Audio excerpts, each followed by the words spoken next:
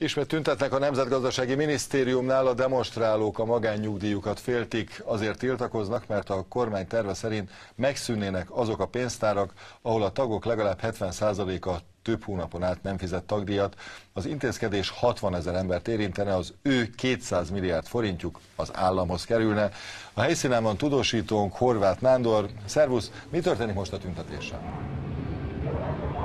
Szervusz, jó estét kívánok! A tüntetők este 6 órára gyülekeztek a Nemzetgazdasági Minisztérium előtt. Az jól látható, talán hogy mögöttem is, hogy jóval kevesebben vannak, mint az eddigi tüntetéseken. A József Nádor téren a Nemzetgazdasági Minisztérium előtt egy beszédet hallgattak meg, majd elindultak vonulni.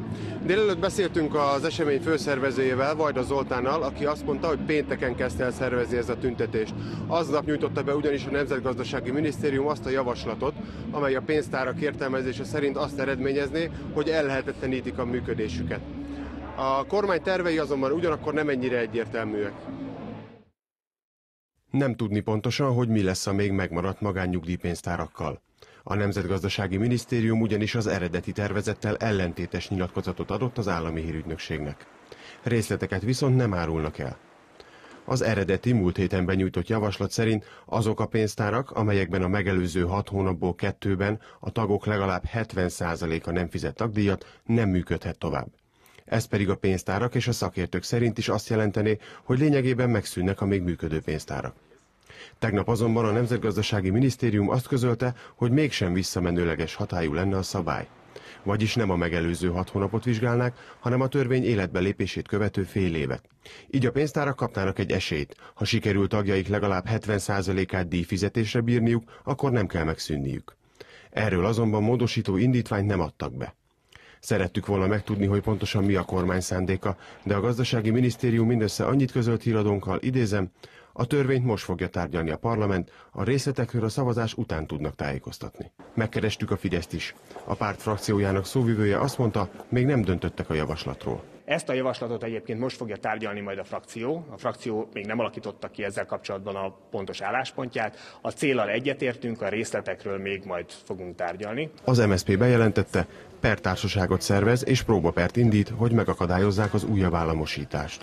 Aki a magánnyugdíjpénztári rendszerben tagdíjat fizetett, az a tagdíj egyéni számlán vezetve volt, és az az ő tulajdona.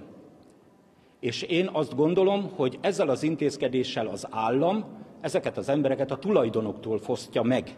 Ha kell, nemzetközi fórumokig megyünk el ebben a kérdésben. A Jobbik szerint a nyugdíjakkal kapcsolatban a kormány egyetlen szavát sem lehet elhinni.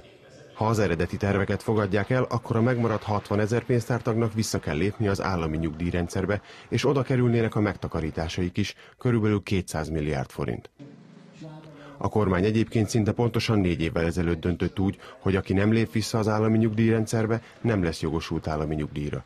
Később hiába semmisítette meg a jogszabályt az alkotmánybíróság, addigra 3 millió ember 3000 milliárd forint megtakarítása került az államkasszába. A pénzt pedig azóta elköltötték. Még mindig a helyszínen van tudósítók. Mi a terve a tüntetőknek, Nándi? Ahogyan az mögöttem is Ahogyan az mögöttem is látható, a tüntetők időközben elindultak a Nemzetgazdasági Minisztérium elől. Jelenleg az alkotmány, a József Attila utcán indulnak, és a Balcsizsnyszki úton fognak elhaladni. Az első megállójuk a Magyar Nemzeti Bank lesz, mert ahogy a főszervezők szavait idézem, itt megemlékeznek az eredendő főbűről, Matolcsi Györgytől 2010-ben. Matolcsi volt ugyanis az, aki négy évvel ezelőtt még gazdasági miniszterként levezényelte a magán nyugdíjpénztárak államosítását. Ezt követően a tömeg átvonul a Kossuth tér és az Alkotmány utca kereszteződéséhez, ahol várhatóan már adásunk után újabb beszédeket fognak meghallgatni.